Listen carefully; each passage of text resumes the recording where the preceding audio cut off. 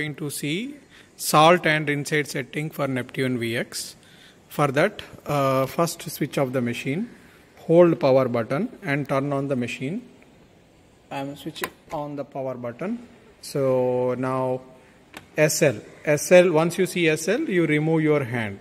Then it will show whatever the setting. Uh, it is a level 1, level 2, level 3, level 4, level 5 See, uh, during installation of the machine, as per water hardness, it is mandatory to do salt setting. Once salt setting is done, for example, now assume that the water hardness, uh, hardness is 600 ppm. I am selecting uh, level 6, so switching off. Now it is set in the memory. Now we are going to see rinse aid setting. For rinse aid setting, hold the program button and uh, switch on the power button. So then you will see SL, don't release your hand, keep it hold, then RA. So rinse aid setting you will see. So they, then you can see it is rinse aid 3. If you want you can reduce to 2 or 3 or you can change the settings.